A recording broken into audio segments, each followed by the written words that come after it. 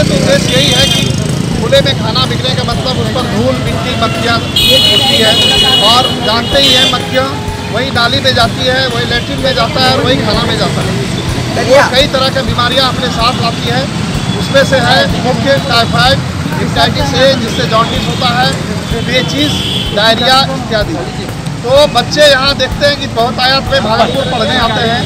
और ये खुले में खाना देखकर यह नहीं देख पाता है कि ढका हुआ है कि नहीं ढका हुआ है।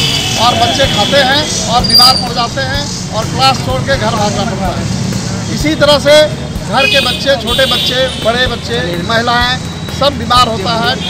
इन बीमारियों से खास करके ये बरसात में लेकिन ये फ़ूड प्रोटेक्शन डिपार्टमेंट जो भी है वो कहीं नहीं दिखता है। वो कहाँ सोया हुआ है जनता को नहीं मालूम। हम लोग उनको झकझोरने आए हैं। और दुकानदार को आगाह करने आए हैं कि आप बेचते हैं, आप गरीब हैं, लेकिन ऐसा काम नहीं करें कि आपको दुकान बंद करना पड़े। हम लोग उसको रजिस्टर्ड पोस्ट के द्वारा फ़ोटो खींचकर हम लोग भेजेंगे और उनसे फिर प्रश्न पूछेंगे आरटीआई के द्वारा कि हमने जो आपको सूचना दी है कि यहाँ यहाँ फलाने जगह खाना खुले में बिक रहा है, उसके लिए आपने क्या काम बड़ी समस्या है। और यह बहुत डेडिकेशन का ज़रूरत है। आदमी को इसमें असली जो जागरूक होना है वह पब्लिक को है।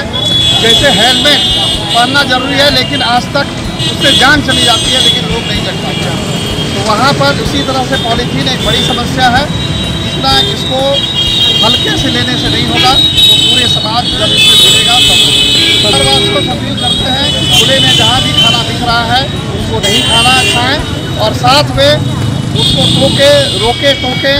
खुले में खाना नहीं बेचे, इससे हम बीमार पड़ते हैं, बच्चे बीमार पड़ते हैं और हम लोगों का हज़ारों रुपया खर्च होता है और जान जो है वो खतरे में